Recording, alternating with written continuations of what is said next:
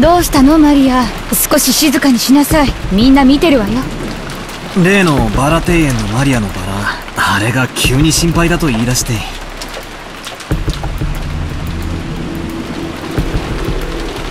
寝ぼけたみたいなんです。急にガバッと起き出して。バラが心配だバラが心配だって言い出して。マリアちゃん落ち着いて。それは夢なんだよ。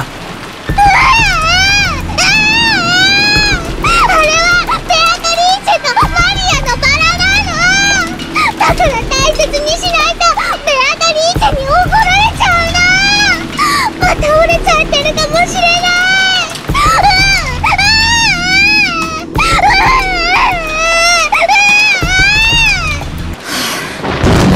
だから少し静かにしなさいって言ってるでしょ！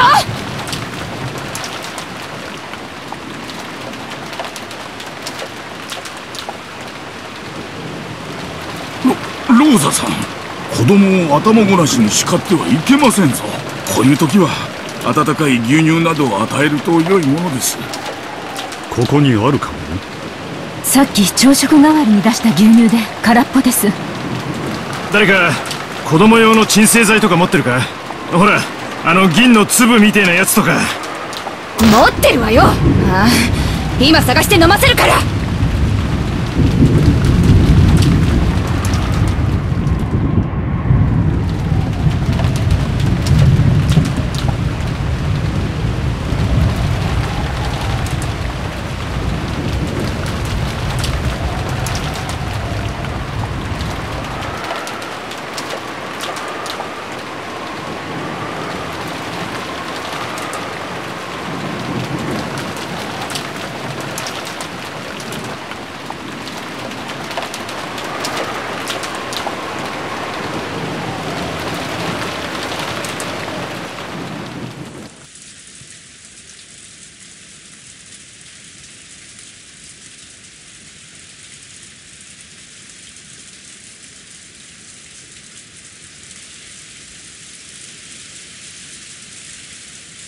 こら、ずいぶんひどい熱や。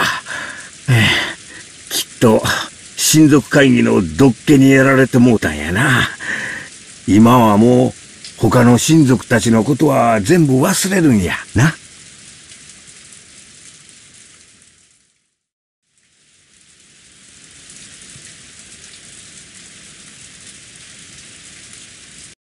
あなたの手ひんやりして気持ちいいわしの手が気持ちいいようじゃ、だいぶ熱が出とるな。安心せい。すぐに薬が効いてくるわ。それにな。わしの手は魔法の手なんや。こうしてエヴァの額に手を当てとるとな、どんな熱も立ちどころに治ってしまうんや。そうねあなたの手で私の熱が引かなかったことは一度もないものねそれこそ、クラウス兄さんの首根っこをひっつかんででも、金を引っ張り出さんといかんのや。わしの手があれば医者いらずやで。安心して目をつむるんや。すぐにわしの魔法でぐんぐん熱が下がるからな。うん知ってるあなたの魔法を感じるもの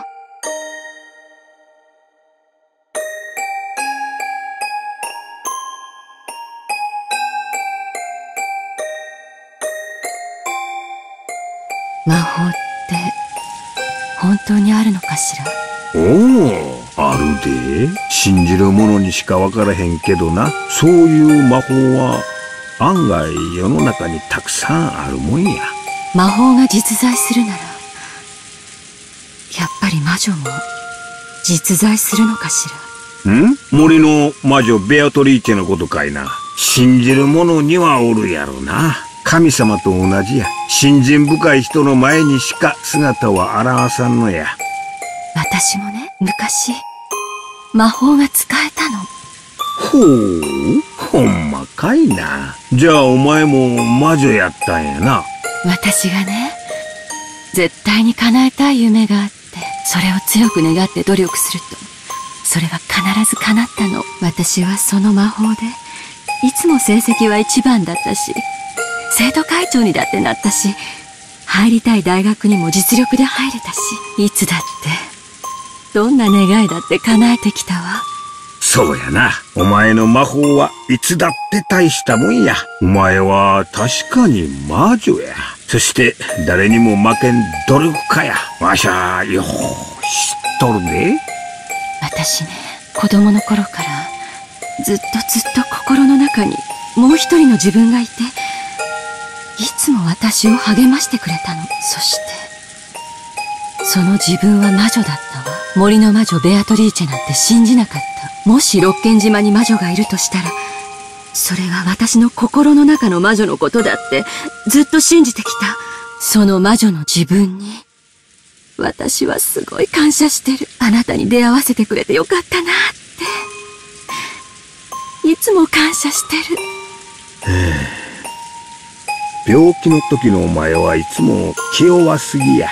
今は何も言わんで熱が下がるまでずーっとこうしてるからな。絶対に手を離さないでね。なんだか私、自分が自分でなくなるような気がして。さっきから怖いの。私の中の魔女がベアトリーチェに触発されて、どんどん強くなるような気がして、私を飲み込んでしまいそうな気がするの。大丈夫や。わしが一緒にいる限り、なんも恐れることなんてあらへん。ほら、ちょいとヤバめな国に旅行に行った時、バスごと強盗にあったことあったやろ。わしが撃退したんやで。あなた、金時計を渡して拝み倒しただけだったじゃない。かっこ悪いけど、こよかったわ。この手、絶対に離さないでね。眠っても、絶対に離さないでね。そして、何か不気味なものが忍び込んできても、私を守ってね。おう、任せとかんかい。だから、今は安心して眠るんやで。すぐに薬と、わしの魔法が効いてくるからな。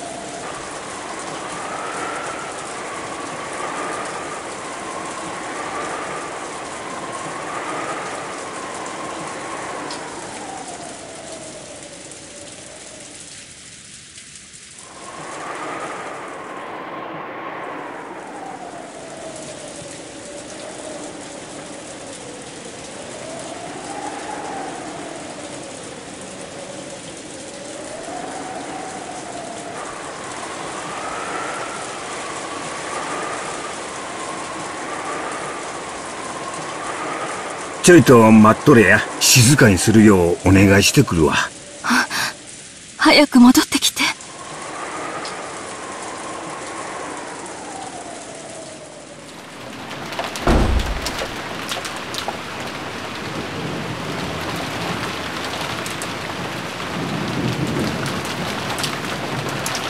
大丈夫かいな、ローザさん。ごめんなさいうるさくして起こしちゃったかしら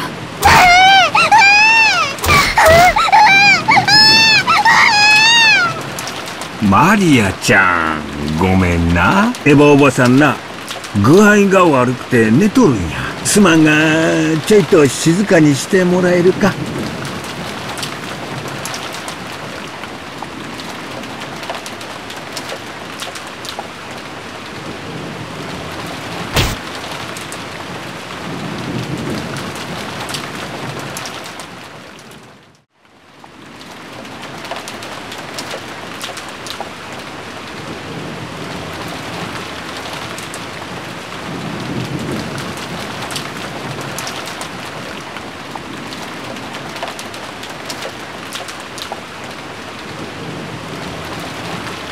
またマリアちゃんが泣いてるの。そうみたいやな。ローザさんも大変や。それを思えば、うちのジョージはできすぎや。親が感謝したいくらいやで。そうね。おお、すまんすまん。ほら、魔法の手やで。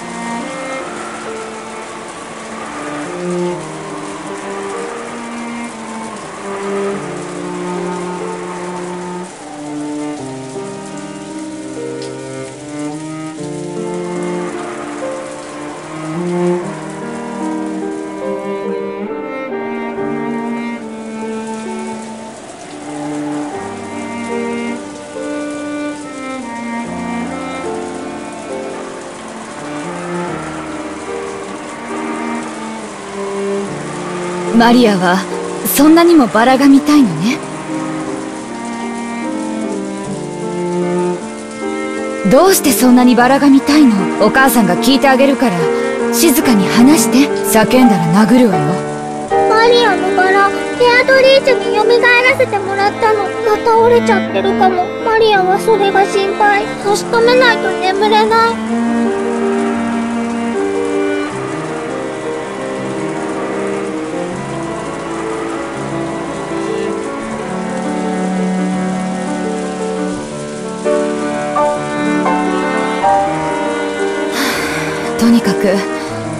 今はみんな大変なの。だからママたちに迷惑をかけないで。バラの話は明日雨が上がったら好きにしていいから。だから今は聞き分けなさい。やだやだやだやだやだ。マリアのベアトリーチェのバラ。ううう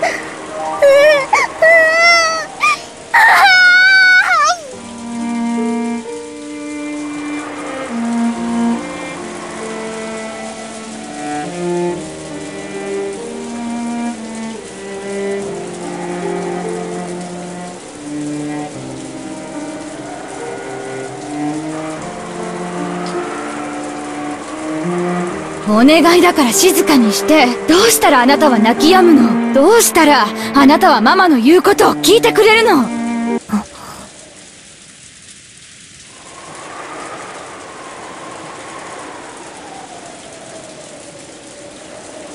マリアのバラを見たらちゃんと明日まで静かにしてるよ。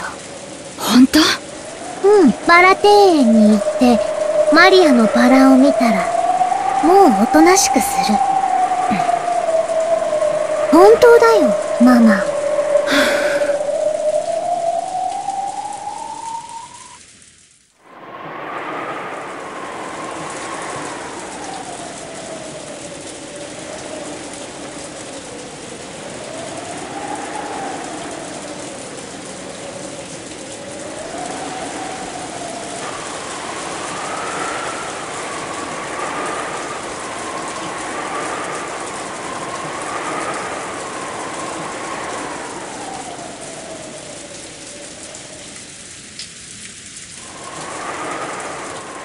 本当にバラを見たらもうおとなしくする？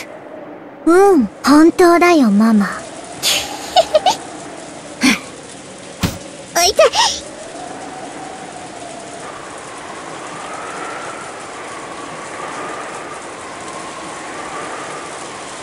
分かったわ。一目見たら納得するのよ。いいわね。うんママ約束する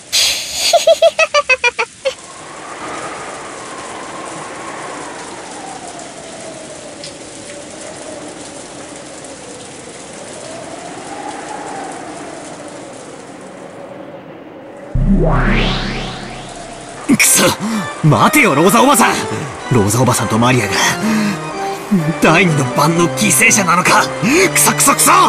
誰か気づけよ。呼び止めろ。今の親父たちや俺たちは何をしてるんだ。ローザ親子の痛々しい関係に気を使ってわざわざ話題を変えておるぞそなたらも2階へ上がりテレビを見ながら話題を変えておる。くそったれ。誰か気づけよ。一番近くにいるのは誰だよ秀吉おじさんか。頼むよ。玄関から二人が出ていくのを気づいてくれよ。届かん届かん。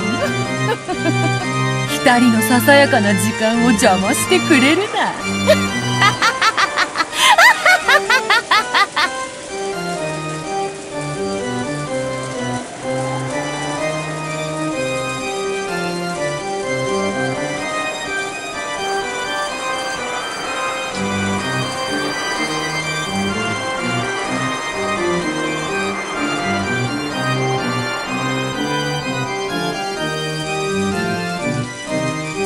たは何を慌てておるのか。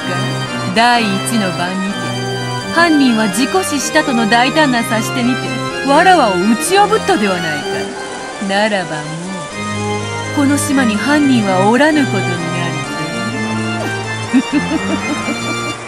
る 何を心配する必要があるというのか。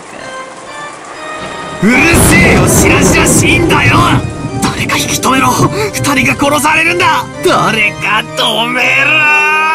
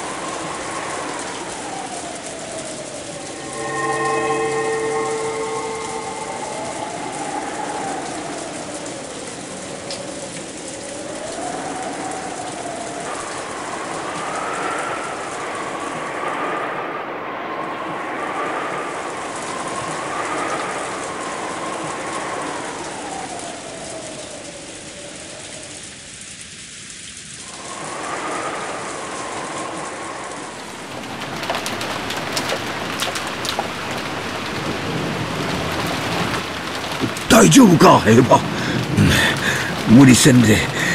やっぱり南條先生を呼んでこんか？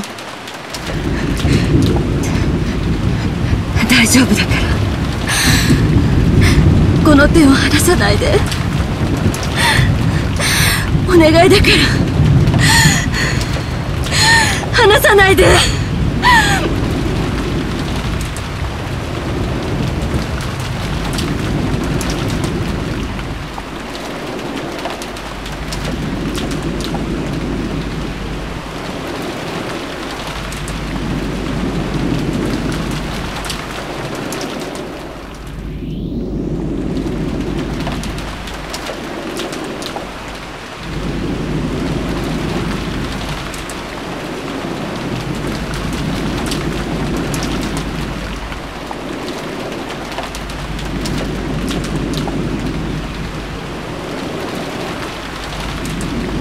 分かったでもなお昼になったら必ず南條先生に見てもらうんやで。それを約束できるならずっとここにいてお前の手を握ってあるからな。こうしてギューッとな。ありがとう。大丈夫よ。あなたの手の魔法で必ずこんな熱なんか下がっちゃうから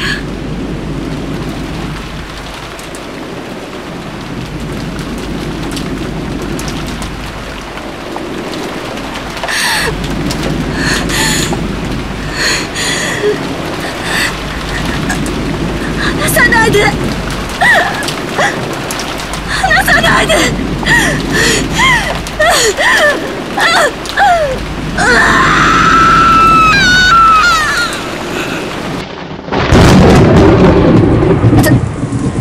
誰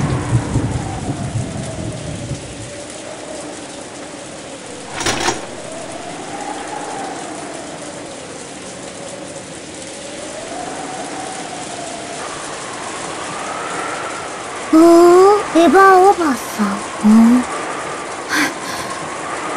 びっくりしたわ。姉さんなの？何かご用？さっきの話の続きなの？ええそうよお父様の黄金の話よお願いだからマリアの前では遠慮して、ちゃんと約束は守ってるわよ。姉さんの悪巧みの邪魔はしないわ。悪巧み？何それ？姉さんが何を考えていても勝手よ。私は邪魔する気なんてない。だから、マリアの前では許して。私は、分け前さえもらえれば十分なの。分け前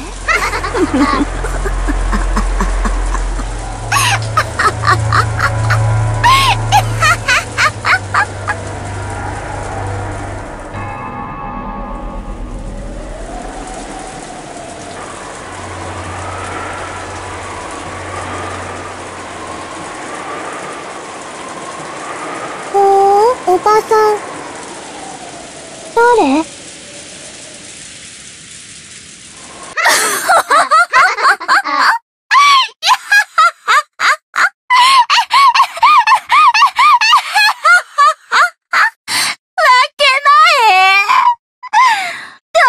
お前にやるものかあれはすべて私のものこの黄金の魔女ベアトリーチェのも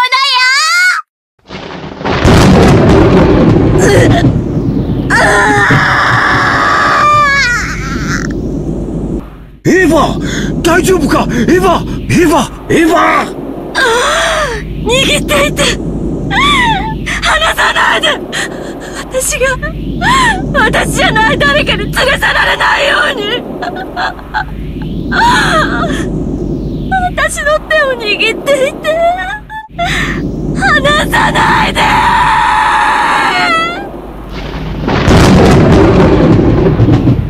お前が何を努力したの？何も努力してない。いつも私たちの影に隠れて、のらりくらり。いつも戦わずに、影から影へと逃げ回っていたお前に、後ろ宮家の黄金を無心する資格など、本当にあると思ってるの？あれは全て私のもの後ろ宮家当主にして、新しき黄金の魔女、ベアトリーチェの名を継承した、私だけのもの